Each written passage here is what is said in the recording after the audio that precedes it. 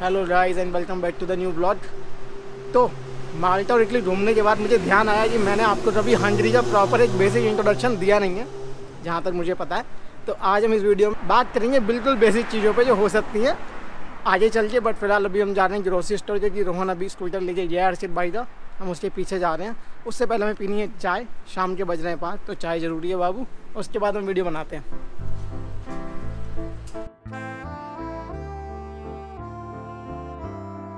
तो हम आ गए लिडिल और ये रहा रोहन जो स्कूटर चुरा के आया था। उठा के उठा स्कूटर। उठा जैसे उठाते हैं। नहीं इसके साथ क्या ये पता नहीं क्या अंडर कॉन्फिडेंट रहते हैं लौंडे हमारे। बताओ दीदी क्या लेना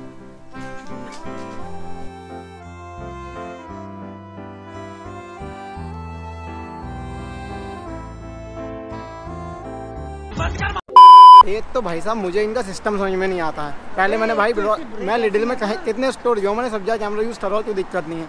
अभी मैं कैमरा यूज़ कर रहा था एक बंदे को भाई चुलू ही जो यहाँ पे नाम कर रहा था वो आ गया उसने पहले हंड्रेड मिनट मुझसे बोल दिया।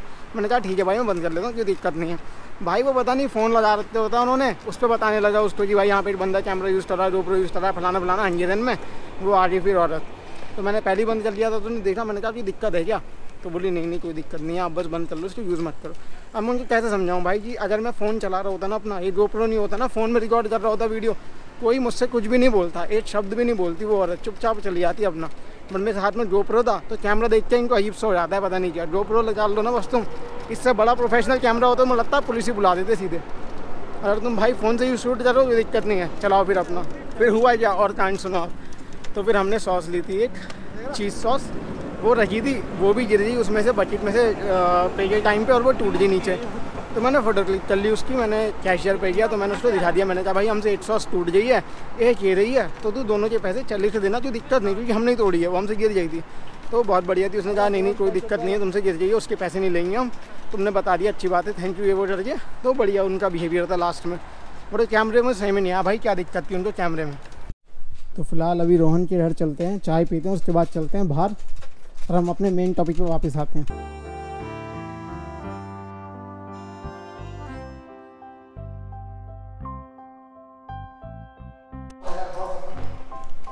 तो चाय पीने के बाद उसकी फ़ोटो लेना भूल गया। मैं आपको बढ़िया बनाता है रोहन हमेशा हम इसके यहाँ पे चाय पीने आते हैं।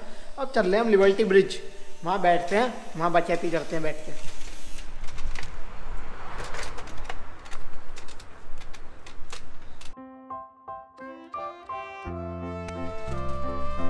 आगे यहाँ पे कोने पर रोहन के घर के पास कोई क्लब है फिटनेस क्लब टाइप वो वहाँ पे वो सिखाते हैं एमएमए भाई।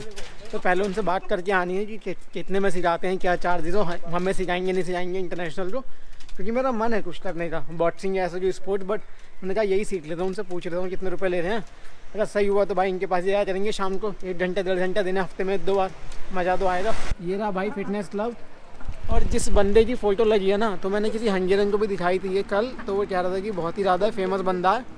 और मैंने इनसे पूछा, कितने में सिखाते हो पहली बात? तो मैंने इनसे पूछा पहले कि, भाई तुम इंग्लिश आती है? उसने बोला हाँ। मैंने कहा, बहुत बढ़िया। मैंने कहा, तुम इंटरनेशनल तो सिखा सकते हो?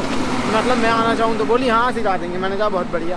तो मैंने कहा कि, क्या सिस्टम है? मतलब कैसे आना है? आठ सौ रुपये पर ट्रेनिंग सेशन चार्जेस हैं।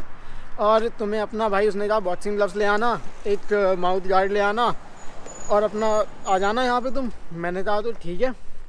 मैंने कहा मुझे कुछ भी नहीं आता। मैंने थोड़ा बहुत अपने कॉलेज डेज़ में सीखा था, पर वो इतना वो नहीं था कि मैं यहाँ पे आके तुम्हें खड़ा दो। बोली, नहीं नहीं, कोई दिक्कत नहीं है, तुम बिल्कुल ही बिटनर हो तो तब भी सिखाएँगे। तो मैंने कहा, ठीक है, फिर मैं आता हूँ आपके, जब भी नेक्स्ट डे हो रहा बोली, ठीक है, आ जाओ। तो बढ़िया, एक दिन आके यहाँ पे देखता हूँ यार मैं क्या सिस्टम है, कैसे ग्लव्स व्लव्स ले लूँगा इस हफ़्ते। और एक डेढ़ घंटा यहाँ पे अपना, कुछ ना कुछ तो सिखाई देंगे थोड़ा बहुत।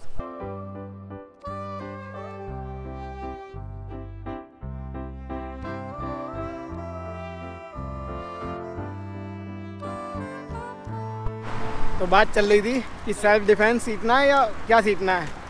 तो सरचित भाई बोले कि यार घर वालों ने बहुत मारा है बेल्ट वेल्ट बचपन से हमें तो इंडियंस रो तीनों रो तो भाई, हम तो डिफेंस आता ही है बचपन से। हमें सिखाओ मारना जैसे तो मैंने कहा, बिल्कुल बहुत बढ़िया बात है।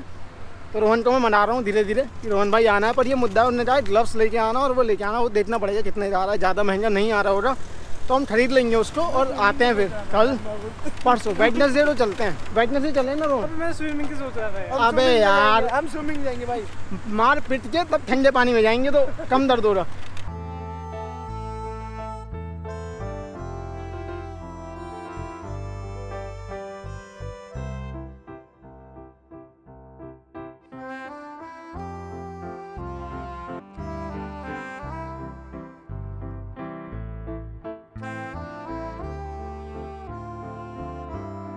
हाँ जी तो हंगरी अपने आप में इतना पॉपुलर नहीं है, जैसे जर्मनी हो गया फ्रांस हो गया और इटली हो गया, इन कंट्रियों के लिए बट जो हंगरी है वो आता है सेंट्रल यूरोप में और जो ये अपना बॉर्डर शेयर करता है, वो करता है Austria Slovakia Slovenia Croatia Romania और बहुत थोड़ा सा यूक्रेन के साथ। तो जब यहाँ पे यूक्रेन की वॉर हो रही थी तो जो बहुत सारे इंडियन स्टूडेंट्स थे, वो पहले हंगरी आए थे, उसके बाद यहाँ से इंडियन गवर्नमेंट ने उनको इंडिया पहुँचाया था।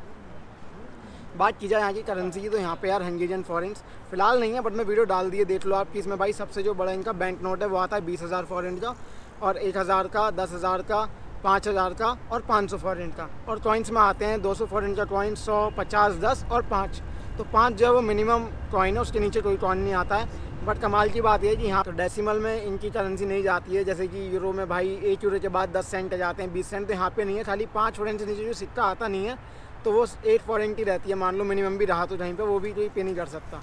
और जो हंजरी की करेंसी है, अगर उसको आप कन्वर्ट करें इंडियन रुपीज़ से तो एक आई एन आर चार फॉरेंस के आसपास होता है four point three four point two जो कि मतलब इंडिया के दस रुपये यहाँ पे बनते हैं आपके, पैंतालीस फॉरेंट और चालीस फॉरेंट बट यहाँ पे जो बेसिक पे है, वो लाखों में आती है कि साढ़े तीन लाख फॉरेंट और चार लाख फॉरेंट तो इंडिया के हिसाब से वो सत्तर अस्सी हज़ार रुपये बन जाते हैं। ये मिनिमम वेज यहाँ पे आपको मिल जाती है। और यहाँ की जो लैंग्वेज है हंगेरियन वो वर्ल्ड की one of the hardest language आप कह सकते हैं, है यहाँ पे लैंग्वेज तो उसको सीखना बहुत ही हार्ड है जी। मैं लोगों से मिला हूँ जो दस दस साल से यहाँ पे रह रहे हैं बट उनको पूरी तरीके से हंगेरियन बोलनी नहीं आती है नेटिव लेवल पे। तो ये बहुत ही ज़्यादा अपने आप में हार्ड लैंग्वेज है। बेसिकली इसमें दो वर्ड आप तो जानने होंगे, सिया जो होता है उसको हाई के लिए बोलते हैं और थैंक यू को बोलते हैं क्वेश्चन हम बात की जाए यहाँ की पॉपुलेशन की तो यहाँ की पॉपुलेशन एक करोड़ के आसपास है ऊपर या नीचे। इतनी रही है, हमने इतने सालों से यही सुना है डिक्लाइन ही हो रही है मेरे ख्याल से। फ़िलहाल इस समय बैठे हुए हैं हंगरी की कैपिटल बुदापेस्ट के अंदर। और जो यहाँ पे टूरिस्टिक प्लेसेस हैं, उनमें ये ब्रिज भी शामिल है लिबर्टी ब्रिज आप दिखा सकते हैं हर्षित भाई एक बार इधर तो तो आपने बहुत सारे म्यूज़िक वीडियोस में बॉलीवुड की और मूवीज़ में देखा होगा। और यहाँ पे दूसरी जगह वो है हंगेरियन पार्लियामेंट जो one of the biggest and most beautiful parliament है। और यहाँ पे बुदा कासल जो था कि उधर है, पर यहाँ से आपको दिखाई नहीं देगा।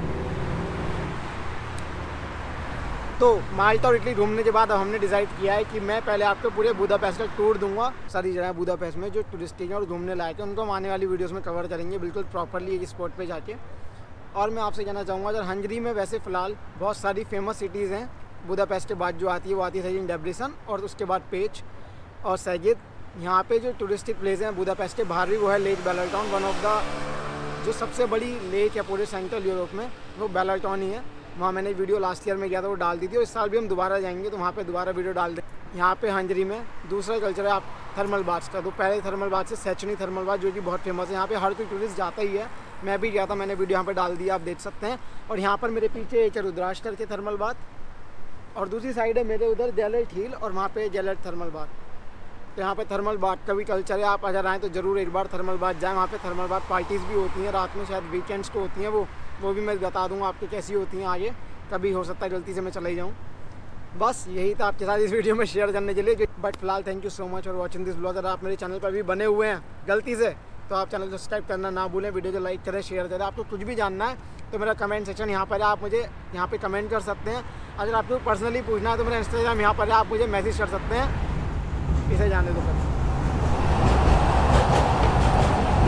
तो आप मुझे मेरे इंस्टाग्राम पे मैसेज कर सकते हैं और मैं वीडियो बनाता रहता हूँ स्टडी इन हंजरी से रिलेटेड तो इस साल भी मैं अभी कुछ वीडियोस बाद एक पूरी सीरीज़ बना दूँगा स्टडी इन हंजरी के ऊपर। अगर आप हंजरी में आगे पढ़ना चाहते हैं, बिना किसी एजेंट की मदद के आप खुद अपने आप सब कुछ कर सकते हैं। आप इतने कैपेबल हैं और ये मैं आपको वीडियो में करके दिखा भी दूँगा। तो thank you so much for watching this blog अब हम जा रहे हैं वापस एम क्लब के पास, उनसे पूछना है दोबारा। बाय